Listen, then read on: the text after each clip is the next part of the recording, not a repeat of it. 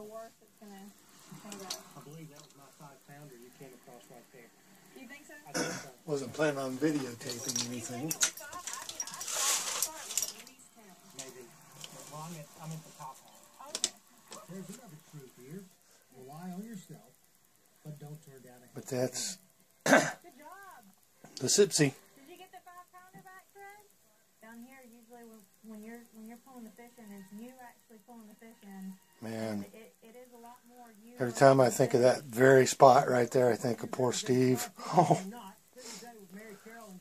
the corn incident. Oh,